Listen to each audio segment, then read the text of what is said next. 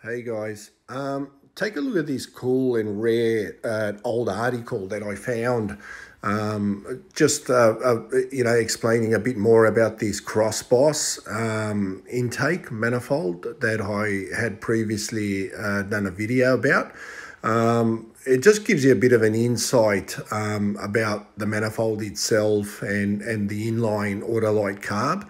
Um, yeah, I just you know found it to be interesting. So you feel free. You can you can sort of um, pause and zoom in and have a good read of that article.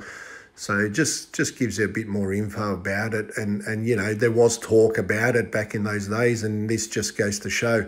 But um, also I found interesting. You'll you'll spot later on. Um, I I I found a, a rare uh, Cleveland uh, manifold in this article as well that um, has a plenum top and a light inline carb on top of that too. I found that to be real interesting. You'll see that towards the end. And also you'll see um, another uh, uh, uh, picture there of a Cleveland also that has um, boss adapter plates to try and mate one of these cross bosses on that Cleveland.